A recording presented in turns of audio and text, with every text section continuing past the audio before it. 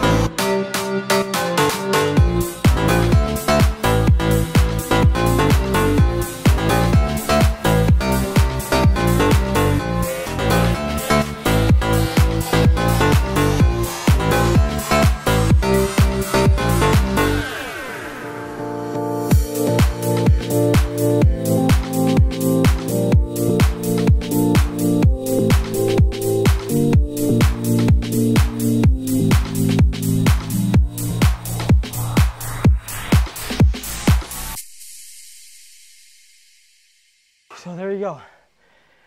It's a beast workout.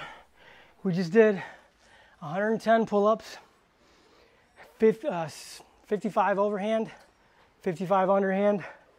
We did uh, 220 push ups and 330 squats.